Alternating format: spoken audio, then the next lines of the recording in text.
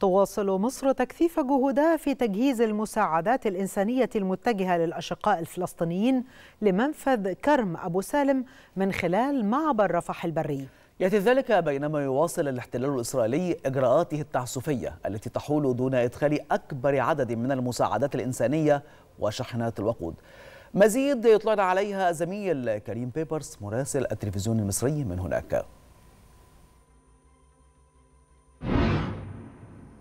تحياتي لكم وتحياتي لجميع السادة المشاهدين. نتابع معا إدخال المساعدات الإغاثية إلى الأشقاء في قطاع غزة إلا أن اليوم السبت قوات الاحتلال هو إجازة رسمية عند المعبر كرم أبو سالم من ناحية قوات الاحتلال وتمنع دخول المساعدات الإغاثية. هذه الشاحنات من خلف متوقفة يعني منذ الأمس واليوم لم تتحرك ولم تدخل إلى الناحية الأخرى من رفح الفلسطينية ولكنها مستعدة دائما للدخول عبر بوابة معبر رفح المصرية لأن السلطات المصرية والحكومة المصرية لم تغلق أبواب بوابة معبر رفح المصرية بشكل عام. ومنها تتحرك بالطبع هذه الشاحنات إلى الناحية الأخرى عن طريق معبر كرب أبو سالم.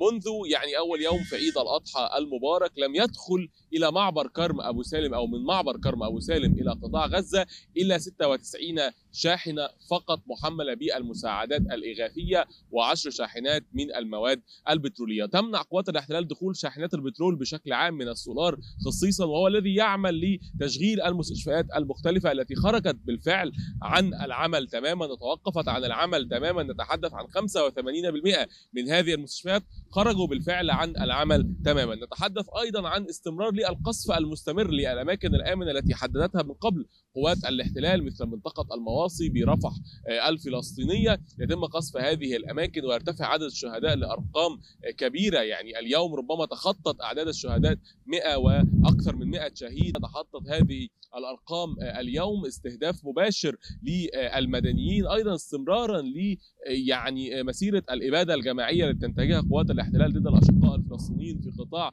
غزة. لا تقتصر فقط على توقيف المستشفيات والقصف المستمر للمدنيين ولكن أيضا يعني هناك تبعات هامشية لهذه يعني الاعتداءات منها توقف العملية التعليمية. نتحدث عن استشهاد أكثر من 450 يعني شابا من طلاب الثانوية العامة خلال الأشهر الماضية نظرا عن توقف أكثر من 600 ألف طالب من دخول الامتحانات هذه هذا العام من الثانوية العامة. لذلك هي إبادة جماعية بكل ما تحمله الكلمة من معنى من تجويع من منع دخول هذه المساعدات من توقيف لعملية التعليم والصحة وغيرها من الأشكال. الأخرى التي تنتهجها قوات الاحتلال ضد الأشقاء في قطاع غزة. هذه هي الصورة من العريش. ورفح والآن عودة